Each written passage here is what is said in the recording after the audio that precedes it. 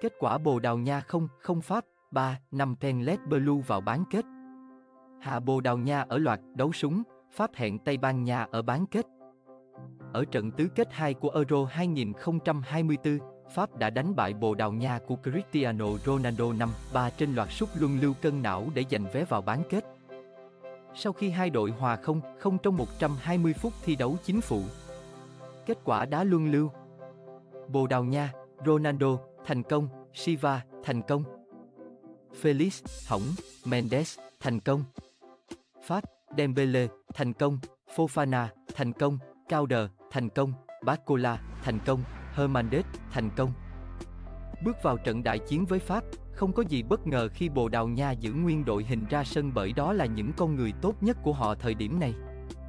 Cristiano Ronaldo đảm nhận vai trò trung phong, hỗ trợ anh là bộ ba Rafael Bruno Fernandes, Bernardo Silva.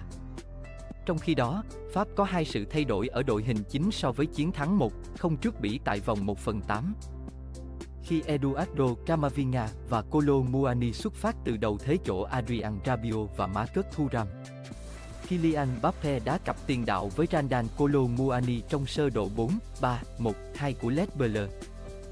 Với Antoine Griezmann sắm vai trò hậu công. Một trong những cơ hội hiếm hoi của Ronaldo trước Pháp. Ngay sau tiếng còi khai cuộc, Pháp bất ngờ tràn sang phần sân Bồ Đào Nha như muốn đánh phủ đầu. Dù vậy, Seleco đã nhanh chóng kiểm soát lại thế trận và đẩy cục diện vào thế giằng co. Cơ hội nguy hiểm đầu tiên xuất hiện ở phút 20, và nó thuộc về Pháp. Theo Hernandez xuất xa như búa bổ bằng chân trái nhưng thủ thành Diogo Costa đấm bóng giải nguy cho Bồ Đào Nha. Ở quãng thời gian sau đó, trận đấu diễn ra tẻ nhạt do hai đội thi đấu chặt chẽ. Chất lượng trong các đường truyền cuối cùng chính là vấn đề của cả Pháp lẫn Bồ Đào Nha.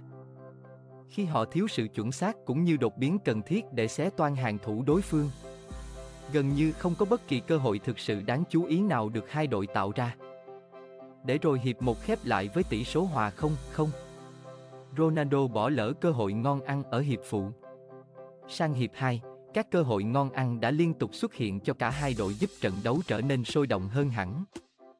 Phút 61, thủ thành Michael Maigan đổ người cứu thua cho Pháp sau pha thoát xuống dứt điểm chéo góc của Fernandes.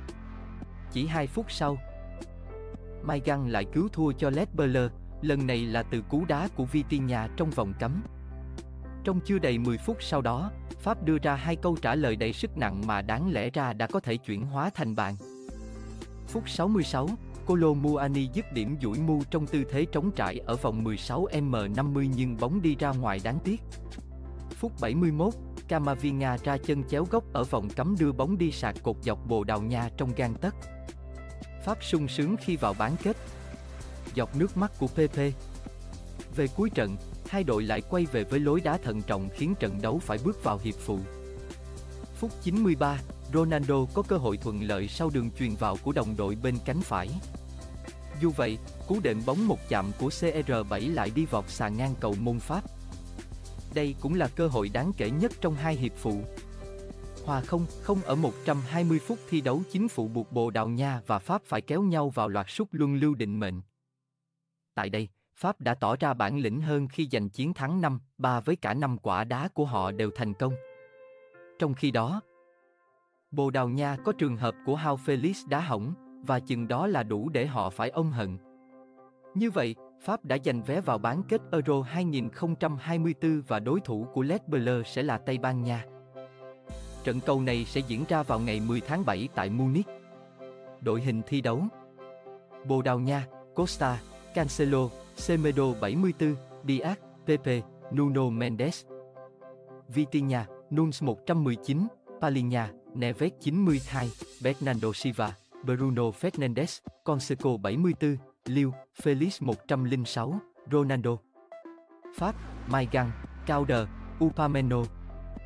Saliba, Hernandez, Can, Quamun, Camavinga, Fofana 91, Griezmann, Dembele 67, Mbappe, Bacola 106, Colo Muani, Thuram 86.